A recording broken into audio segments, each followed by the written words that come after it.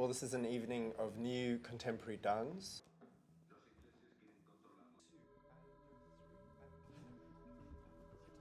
With four different choreographers. I'm working on the project right now with uh, Rob McNeil. So my name is Mbulelo Ndabeni.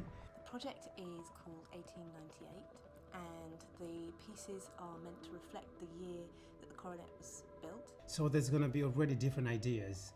And even though we're taking the year 1898, um, but we, we, we're twisting things, we're playing with things. So it'll be quite interesting for the audience when they come to see what the ideas that we've taken, what we've done with it, and how, how we found a different window to look into the past. My influence for the piece has been Sarah Bernhardt, the French actress, and uh, the world of Art Nouveau, the world of Expressionism, the world of artistic freedom at that time. I wondered how did this building survive from 1898 to 2015? Who loved it? Who's restored it? Who's kept it alive and living um, right up to 2015?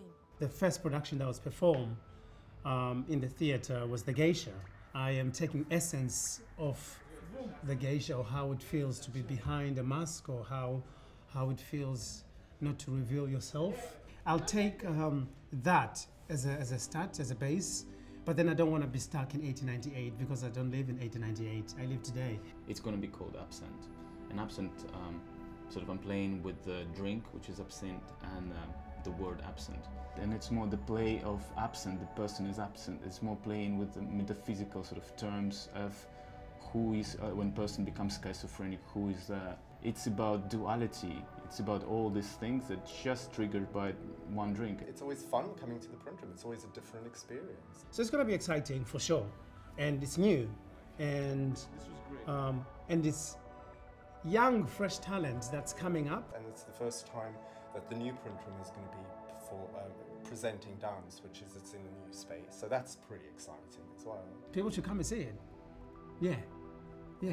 If they like dance, they like theater, they like uh, films, they like you know different cultures, different ways of moving, different languages. There's something for everybody. Yeah. I think it's going to be a sort of a living work of art.